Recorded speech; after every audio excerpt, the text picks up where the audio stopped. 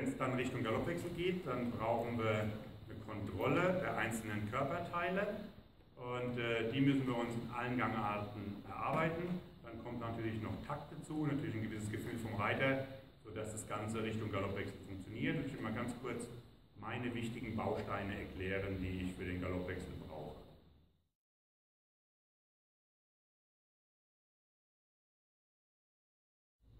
So, nun haben wir erstmal ein simples Schenkelweichen im Schritt.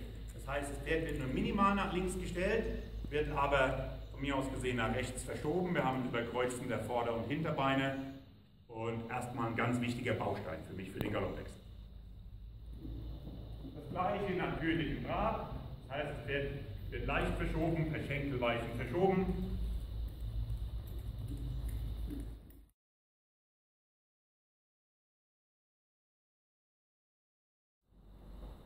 Natürlich fangen wir an mit dem Gruppe herein oder Travers. Das heißt, hier jetzt erstmal relativ langsam im Schritt. Das Pferd soll vorne auf 12 Uhr bleiben, beziehungsweise darf leicht nach innen gestellt sein und soll die Gruppe leicht hereinschieben. Und äh, dementsprechend ist es immer wichtig, dass das Pferd nicht mit der Schulter nach innen drückt, sondern die Schulter immer aufgerichtet lässt und das in allen drei Gangarten. Halte die Schulter des Pferdes leichtes Gruppe herein oder Travers und bieg wieder ab und mache dasselbe gerade noch einmal.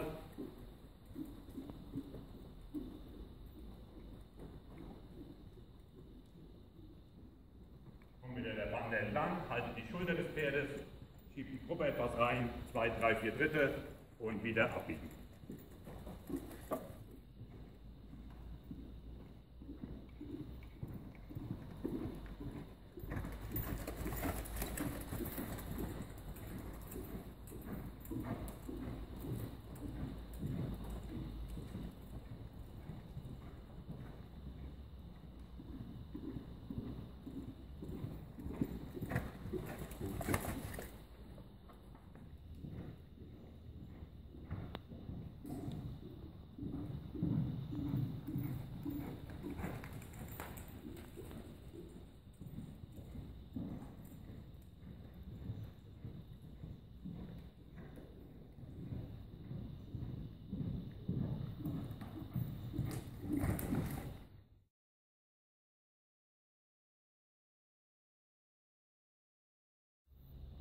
Und ein ganz wichtiger Baustein ist die Bewegung von Schenkelweichen im Travers. Das sollte dem Pferd frühzeitig beigebracht werden. Das kann ein junges Pferd schon über Wochen und Monate im Schritt machen, auch wenn es noch gar keine Kraft hat, es vielleicht im Trab oder im Galopp zu tun. Aber im Schritt kannst du es lernen, von Schenkelweichen im Travers, weil wie gesagt, das mein Baustein ist für den Galoppwechsel und das zeige ich jetzt mal kurz aufgeschlüsselt. Also in dem Fall jetzt vom Schenkelweichen nach rechts, von mir aus gesehen, umsitzen in eine Gruppe herein nach links. Das wäre die Körperausrichtung für den Galoppwechsel nach links natürlich. Dasselbe dann natürlich im Draht, vom Schenkelweichen nach rechts, in ein Travers oder Gruppe herein nach links.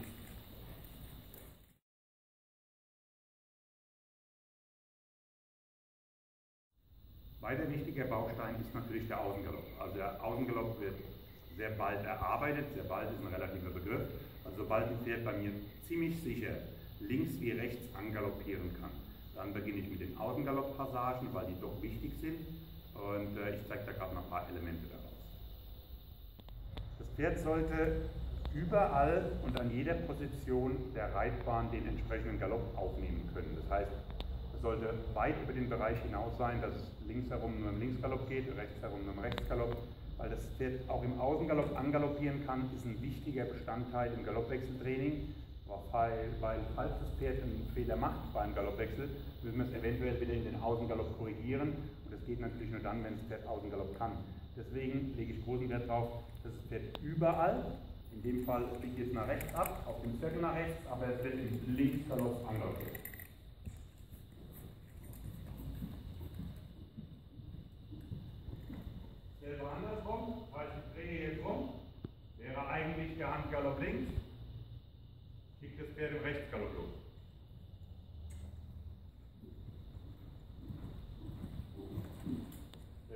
plateforme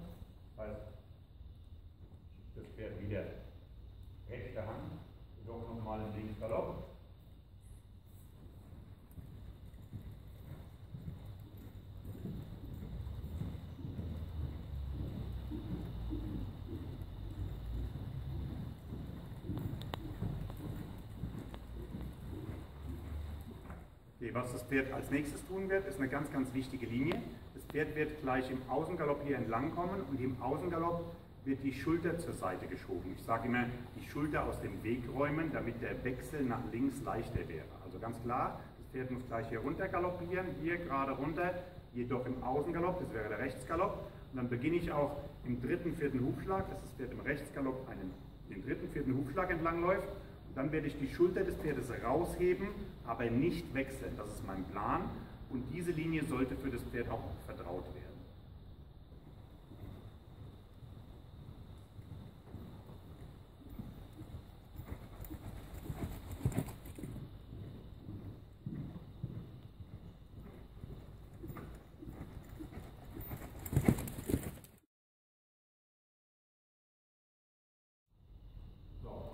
ganz langsam. Im Schritt. Wie war das hebe die Schulter raus, Schenkel weichen hier rüber, sitze dann um ins Gruppe herein. Jetzt. Das wäre die Aufforderung für den Galoppwechsel. Das gerade jetzt nochmal ganz kurz im Draht hier.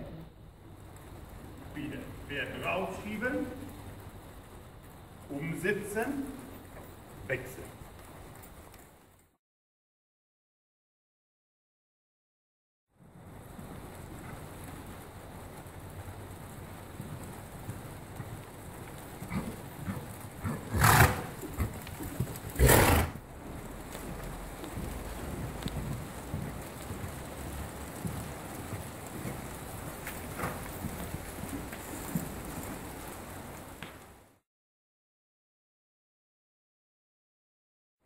Beim Wechsel in den Außengalopp an der langen Seite müssen wir natürlich umgekehrt vorgehen. Das heißt, wir sind gerade vorher dritter, vierter Hufschlag geritten und haben das Pferd nach außen verschoben, um dann in Handgalopp zu wechseln.